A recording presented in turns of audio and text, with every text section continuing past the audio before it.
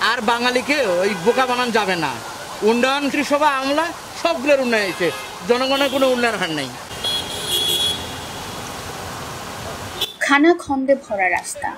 জলাবদ্ধতার কারণে সকাল থেকেই দুর্ভোগে পড়েছেন রাজধানীর যাত্রী, পথচারী, সাধারণ মানুষ ও গাড়ি চালকরা। এদিকে গত রাত থেকে সকাল পর্যন্ত মৌসুমী বৃষ্টিতে রাজধানীর বিভিন্ন স্থানের মূল সড়কে জলাবদ্ধতার সৃষ্টি হয়েছে।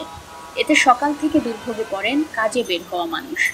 অনেক স্থানে রাস্তা ও ফুটপাত তলিয়ে যাওয়ায় স্বাভাবিক চলাচল বাধাগ্রস্ত হচ্ছে। নয়াপল্টন এলাকায় রাস্তার উপর প্রায় এক ফুট পানি জমেছে। ডুবেছে রাজধানীর বিভিন্ন এলাকার বিভিন্ন সড়কও। এখন পর্যন্ত এসব এলাকায় জমে থাকা পানি সম্পূর্ণ নামেনি।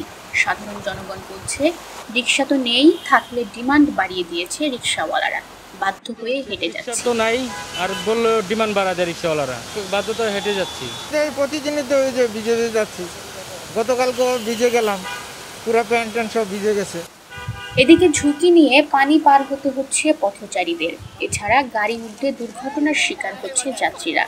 অনেককেই হাঁটু সমান পানি দিয়ে যেতে হচ্ছে কর্মস্থলে। বৃষ্টির পানি ও ভাঙা রাস্তায় আটকে যাচ্ছে মোটরসাইকেলের চাকা।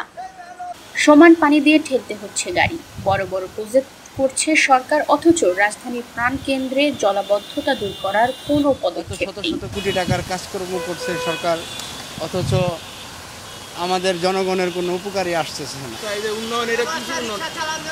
এমন কোনো জায়গা নাই যে গর্ত নাই। এমন কোনো জায়গা নাই যে গর্ত নাই। সারাদিন পানিতে বইয়া করে ছা লাগে পারা পাইতেছি না ঘুরতেছি। মানুষ যাইতে পারে না পার হইতে পারে না আমরা নিতে পারি না।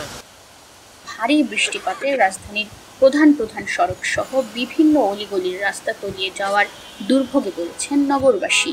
নিয়মিত কর্মদিবস হওয়ায় জীবিকার তাগিদে ঘর থেকে বের হওয়া মানুষের দুর্ভোগ যেন একটু বেশি। ঢাকা শহরের এই জলাবদ্ধতা তো আজকে নূতন করে কিছু নয়। উন্নয়ন হলো ইলে ইলে হলো চোখে দেখানো উন্নয়ন। বড় বড় মেগা প্রকল্প নিছে আর প্রতি বছর কোটি কোটি টাকা বাড়াইতেছে, লুটপাট করে খাইতেছে। কিছুর উন্নয়ন? একটা বাংলাদেশে একটা বাজার সরকার থাকলেও এই উন্নয়ন হইতো। আপনাকে যদি প্রধানমন্ত্রী বানায় দেই, আপনি বসে থাকেন। দেশকে প্রধানমন্ত্রী চালায়, খালি একটা বইটে ধরে।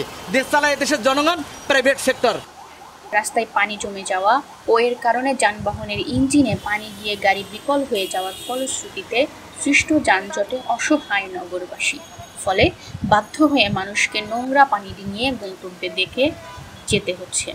ভারী বৃষ্টিপাতে নিম্ন আয়ের মানুষ, বিশেষ করে দিন দিনমজুররা সবচেয়ে বাজে অবস্থায় পড়েছেন। বৃষ্টির কারণে তাদের স্বাভাবিক কর্মজীবন থেমে গেছে। বেশিরভাগই খারাপ আবহাওয়ার মুখে ঘর থেকে বের হতে